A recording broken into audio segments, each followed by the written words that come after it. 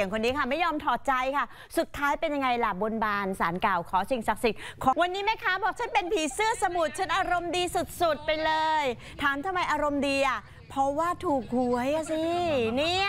ถ้าถูกหวยจะแต่งชุดนางยักษ์มายืนขายของปกติก็ขายเนี่ยแหละค่ะหมาล่าค่ะ อยู่ที่ถนนคนเดินเทศบาลเมืองบัวใหญ่ที่นครราชสีมาค่ะ มาวันนี้แม่ฉันอารมณ์ดีค่ะ มีตังค่ะ ลงทุนแต่งหน้าทาปากและสวมชุดนี้เลยนะคะ ผีเสื้อสมุทรคุณแสงอรุณรัตนวิชัยค่ะ บอกแหมมันต้องทำแบบนี้สิ เพราะว่าก่อนหน้านี้ก่อนจะถูกหวยนะ ฉันยกมือท่วมหัวเลย บนบานสารกล่าวบอกขอลูกช้างถูกหวยทีเธอ เดี๋ยวลูกช้างจะแต่งชุดนางยักษ์มายืนขายหมาล่าค่ะ ผลปรากฏว่างวดไม่ใช่งวดล่าสุดนี้นะ งวดตั้งแต่วันที่ 1 กรกฎาคมที่ผ่านมาเนี่ยได้เงิน ถูกหวยมา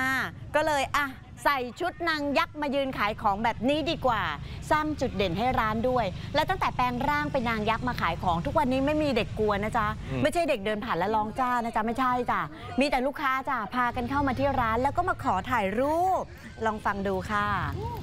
แก้บุญค่ะ แก้แก้แก้บนงวดไหนงวด605ค่ะ โอ้ได้หลายวันไหนครับเนี่ยได้20คน20แก้แก้มาจังไหนถ้าเกิดถูก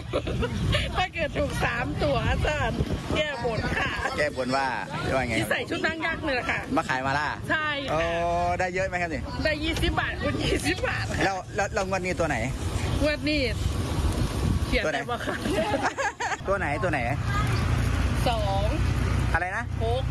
อะไรนะ หนึ่งสองถูกเอองวดนี้ใช่ไหมใช่งวดนี้โอ้โห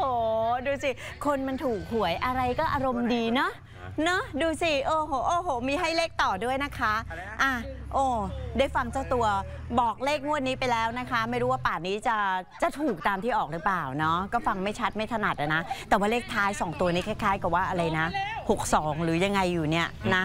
อะยังไงก็อาจจะได้ใส่ชุดนางยักษ์ขายยาวๆไปนะคะ ถ้าโชคดีถูกรางวัลแบบนี้ แต่ยอมใจในความคิ้วอะคุณปิ๊กดูสิเออเขียนคิ้วแบบว่าเออสูงมากเลยอะใช่โอ้โหดูวาดคิ้วเข้าไปสักขนาดนั้นเลยนะคะอะขอให้ขายดิบขายดีและได้แต่งชุดนางยักษ์ทุกวันนะคะ